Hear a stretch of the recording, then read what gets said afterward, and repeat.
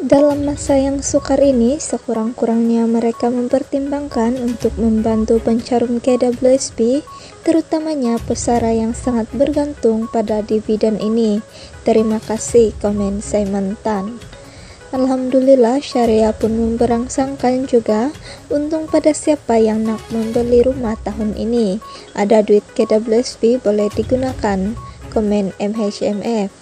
Terdahulu, Akbar melaporkan agihan dividen KWSP bagi tahun 2021 lebih tinggi sebanyak 6,10% untuk simpanan konvensional dan 5,65% untuk simpanan syariah.